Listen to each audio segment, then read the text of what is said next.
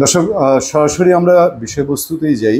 মনীষা সম্পর্কে আপনারা সবাই জানেন বা তাকে চেনার কোনো জায়গার ঘাটতি অতটা থাকার কথা নয়। তারপরেও তার পরিচিতি সম্পর্কে উইকিপিডিয়া যেটি বলছে যে মুন্নি সাহা একজন বাংলাদেশি সাংবাদিক এবং টেলিভিশন সঞ্চালক।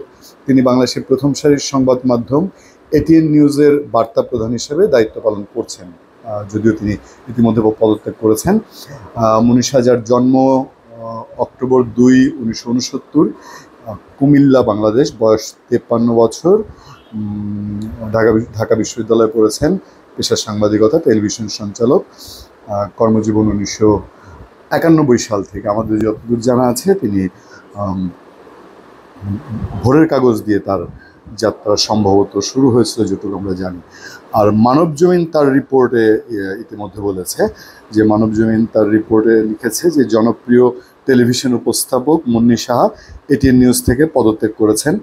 মালিক পক্ষের সঙ্গে বিরোধের জেরে এই সিদ্ধান্ত নিয়েছেন বলেই মনে হচ্ছে মালিক পক্ষের সঙ্গে বিরোধের জেরে এই সিদ্ধান্ত নিয়েছেন বলেই মনে মনে হচ্ছে। তিনি এই বিষয়টি মনীষা স্বীকার করেছেন, পদত্যাগের বিষয়টি বলেছেন। পদত্যাগ করা ছাড়া তার সামনে আর কোনো বিকল্প ছিল না। উল্লেখ্য যে এটিএন নিউজের শুরু থেকেই তিনি এই নেটওয়ার্কের সঙ্গে যুক্ত ছিলেন। ভোরের কাগজ দিয়ে তার সাংবাদিকতা শুরু, সেখান থেকে তিনি যান একুশে টেলিভিশনে, এরপর যোগ দেন এটিএন বাংলায়। মনীষা বহু জাতীয় এবং আন্তর্জাতিক গুরুত্বপূর্ণ ঘটনাবলী টেলিভিশনের পর্দায় উপস্থাপন করেন। মনীষা বাংলাদেশের সাংবাদিকতায় এবং বিশেষ করে নারী সাংবাদিকতায় অনস্বীকার্য যে একটি উল্লেখযোগ্য নাম এবং যে কারণেই আমাদের টেলিভিশন ইন্ডাস্ট্রিতে বহু পদত্যাগ, চাকরি পরিবর্তনের ঘটনা ঘটে। কিন্তু মুন্নিশা এটিএন নিউজ ছাড়াটা এটা একটা এটা একটা নিউজ দাবি রাখে।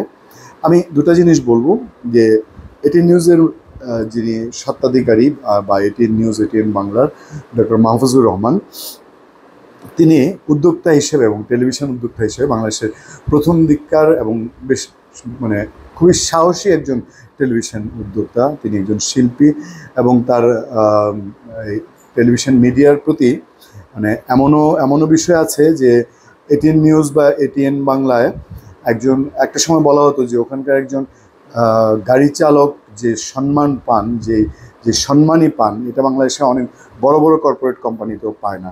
এবং সেই সাহসিকতা, সেই উদারতার জায়গা মাহফুজুর রহমানের রয়েছে।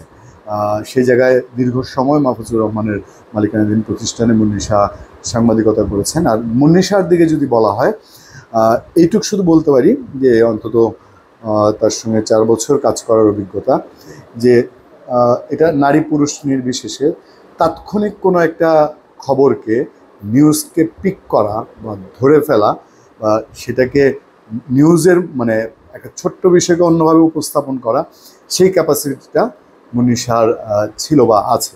তো দু জায়গা থেকে দুজন মানুষ দুরকমভাবে দেখবেন, তাদের মধ্যে একটি মনোমালিন্যতা বা এখানে বলা হচ্ছে যে মালিক পক্ষের সঙ্গে বিরোধের জেরে এই পদত্যাগ ঘটেছে। ইতিমধ্যে আমরা জেনেছি যে এটিএন নিউজ এবং এটিএন বাংলা সত্ত্বাধিকারী ডক্টর মাহফুজুর রহমান, তিনি তার কলিগদেরকে এই মনীষার পদত্যাগ এবং এই পদত্যাগপত্র গ্রহণ করার বিষয়টি তিনি ক্লিয়ারিফিকেশন দিয়েছেন। তিনি সেটি পরিষ্কার করেছেন। এবং তার যে মন্তব্যের কারণে এই পদত্যাগের ঘটনা ঘটেছে, সে বিষয়টিও এই দুটি প্রতিষ্ঠানে আলোচিত একটি ঘটনা হয়ে আছে যাই হোক, আমাদের মনে হয়েছে যে অনেকেরই পজিটিভ, নেগেটিভ দুরকম দৃষ্টিভঙ্গিতে মনীষার প্রতি দেখার ব্যাপার থাকতে পারে বা আছে।